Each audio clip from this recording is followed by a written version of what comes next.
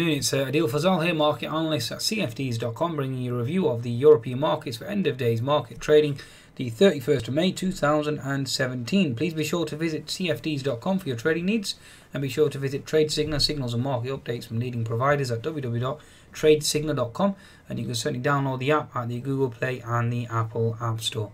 Okay, now let's uh, assess exactly what happened today. Certainly an interesting session on the FTSE and Sterling today. Uh, also on European markets as well. Certainly a U-turn, a sharp U-turn at that too.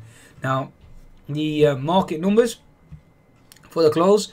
FTSE surprisingly finished uh, negative six points. The DAX finished just managed to finish positive.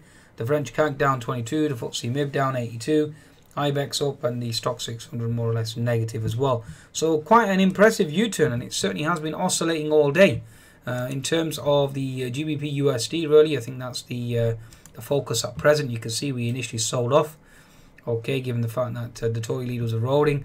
and then all of a sudden we certainly took off on the back of obviously weaker home uh, sales data from the uh, the US uh, side of the equation. Also, we did have another poll as well that actually put the Tories back in the lead, but again, apparently that uh, the news or the uh, that apparently it ha has been cited now that that is an old uh, poll, and also it's a, new method of counting which really is distorted to a large extent. So, again, one needs to ask the question as to why they'd put out a distorted poll. Interesting, okay, interesting to say at least. Either way, that's the status quo at present, and there's a lot of polls being released, and there will be a lot of volatility as well. Okay, so economic data wise, uh, really, I think the only uh, additional economic data that actually came out towards the end of the session really uh, towards the US uh, session was US mortgage applications on the weaker side. Mr. Kaplan hawkish as, as usual. Uh, the uh, Canadian GDP missing, slightly missing on a uh, quarter-on-quarter basis, but month-on-month slightly better. Redbook uh, data as well coming in on the weaker side. Chicago PMI actually initially came in weak, but then it was revised higher. So again, a distorted number, which again uh, begs the question as to uh, the validity of this data and the authenticity of it as well. According to Jack Welch, the tweet that he sent out certainly said that he uh, blasted them basically and lambasted them, stating that it was all manipulated like Chinese data. So again, uh, we can only react as traders, okay? Uh, leave the politics to them. Uh, in terms of the US, we're looking forward to the US Fed, Fed beige book now, and then API oil data will be massive in terms of the next move in, in the price of oil.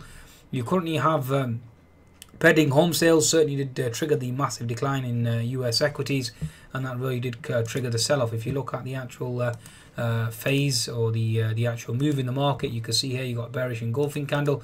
We're holding the previous breakout level though. 10 minute chart you can see here on. Um, on the uh, gap fill. Okay, so we've certainly closed the gap. We're currently in a uh, in a, uh, a, symmetrical wedge type pattern now. Whether we break north or south, we'll see. Okay, in terms of the S&P 500.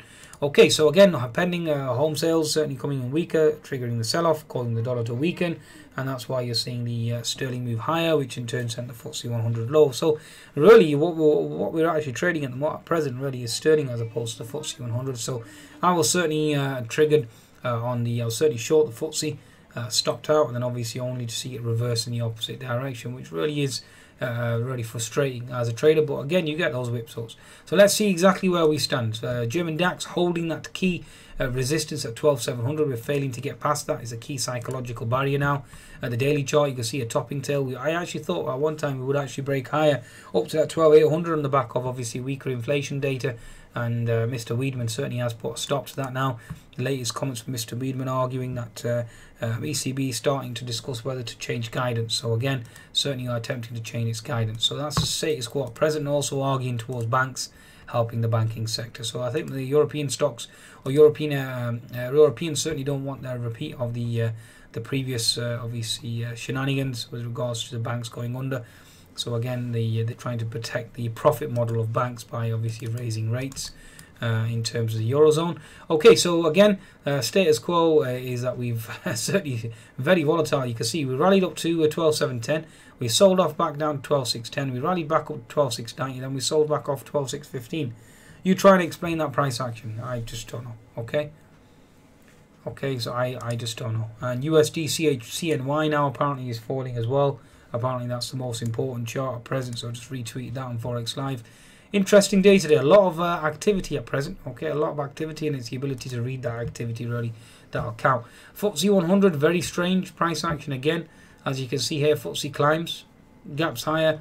Uh, initially, I was looking for the H&S formation, the FTSE to play out this pattern here, folks. Okay, so you had a perfect H&S formation, looking for it to flush. We obviously short squeeze in the opposite direction, led by Sterling, obviously falling below that key uh, 1.28 level, only for it to reverse. So you can see FTSE hit a pivot high of uh, 7586, only to hit, go back right back down to 7520 and, and then neutral for the day. If you look at the daily chart, the FTSE 100, you can see it's a topping tail, quite an impressive one.